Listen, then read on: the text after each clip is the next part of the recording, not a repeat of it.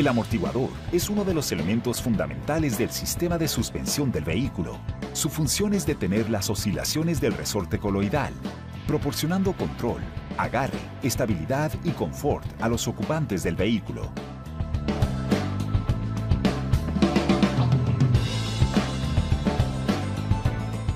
Los amortiguadores de hoy día son dispositivos hidráulicos. Por ejemplo, trabajan bajo los principios del aceite que fluye a través de válvulas, que es el rango de amortiguación de la cual es sensible según la velocidad del pistón. Por lo tanto, entre más rápido se mueve, el amortiguador ofrece más resistencia al movimiento y se vuelve más rígido.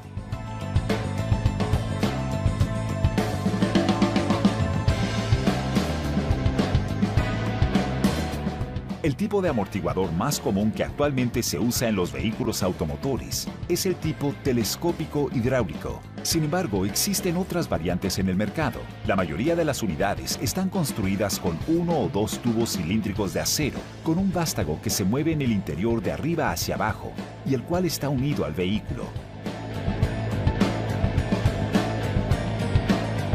El sistema incluye válvulas calibradas que permiten el ajuste de las fuerzas de compresión y extensión mediante el control del flujo de aceite a través de ellas en distintas situaciones de manejo.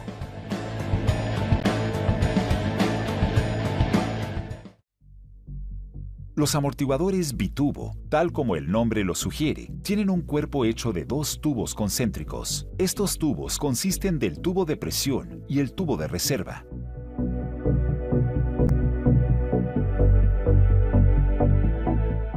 Para que el amortiguador realice su función adecuadamente, el tubo de presión debe estar lleno de aceite todo el tiempo. De otra manera, las válvulas podrían estar funcionando con aire, provocando que funcionaran incorrectamente. El tubo de reserva siempre estará parcialmente lleno de aceite, debido a que su función es asegurar que el tubo de presión se llene con aceite, sin importar qué tan comprimido se encuentre el amortiguador.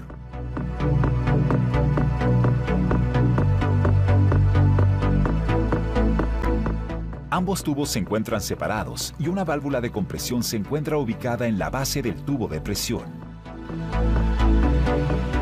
El diseño estándar de cualquier amortiguador bitubo también incluye un vástago con una válvula de pistón que se mueve de arriba hacia abajo dentro de un cilindro lleno de aceite, conocido como el tubo de presión.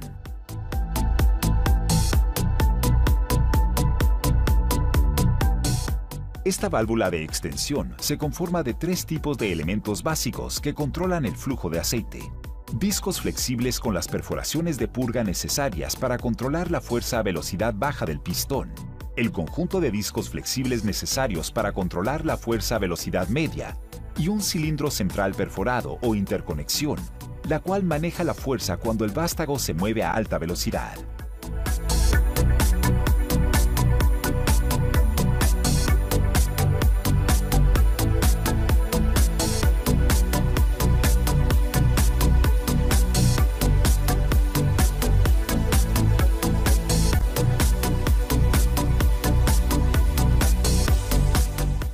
Los amortiguadores bitubo también encontramos una válvula de compresión en la base del tubo de presión.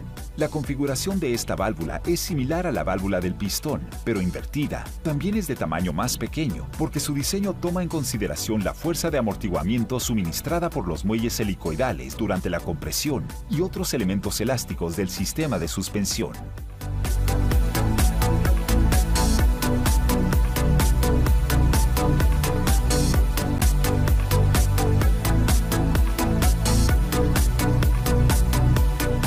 Cuando el amortiguador se comprime debido al piso disparejo, el vástago entra en el tubo de presión, aumentando la presión del aceite contenido en el interior. Durante esta así llamada fase de compresión, la válvula de compresión controla la resistencia del movimiento de amortiguación, mientras el aceite fluye casi libremente desde la parte inferior del tubo de presión hacia la parte superior a través de la válvula del pistón.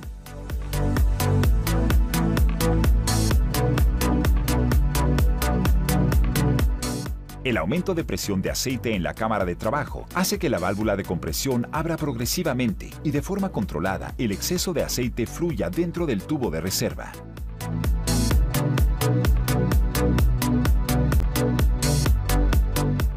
Durante el movimiento de extensión, el vástago deja la cámara de trabajo controladamente, Gracias al efecto de la válvula de estiramiento, este movimiento crea un vacío que provoca la succión del aceite desde el tubo de reserva, el cual es equivalente al volumen del vástago que abandona el tubo de presión durante el movimiento de extensión. Gracias a este efecto, el tubo de presión se llena constantemente de aceite.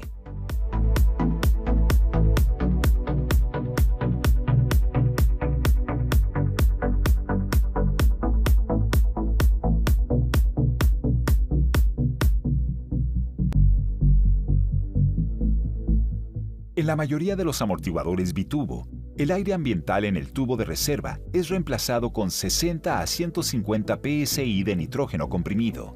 A estos se les conoce como los amortiguadores con carga de gas. Este proceso de carga de gas se lleva a cabo durante el proceso de fabricación. El nitrógeno líquido se agrega a la cámara de almacenamiento antes de acondicionar los sellos de aceite ubicados en la parte superior del amortiguador para evitar fugas.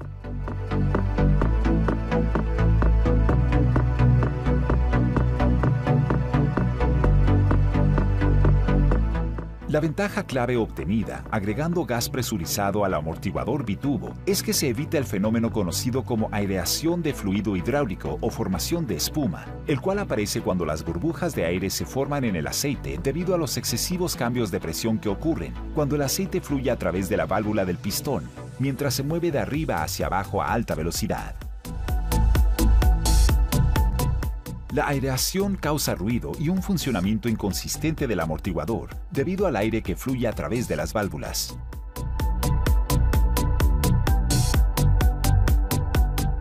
En el caso del amortiguador bitubo de gas, el gas nitrógeno comprimido a baja presión evita la formación de burbujas de aire, las cuales provocan el problema de aireación y también las consecuencias negativas para la seguridad del vehículo.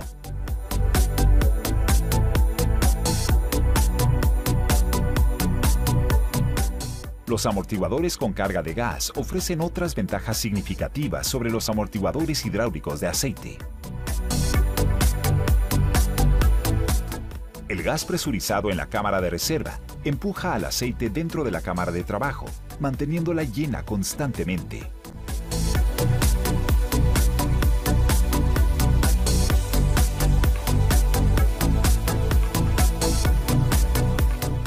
El llenado con gas crea un efecto de refuerzo en el amortiguador, el cual mejora el coeficiente del muelle del vehículo. Cuando el amortiguador está comprimido, el aceite que sube desde la cámara de trabajo entra a la cámara de reserva, comprimiendo el gas alojado en ella.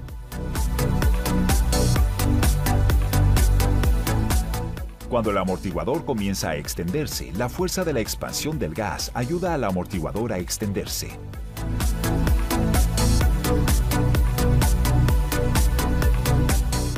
Como resultado, el amortiguador responde más rápidamente, ayudando a mantener el contacto de la llanta con el piso por más tiempo, aumentando la seguridad del vehículo gracias a un mejor agarre de la llanta y a un control de la dirección más eficaz.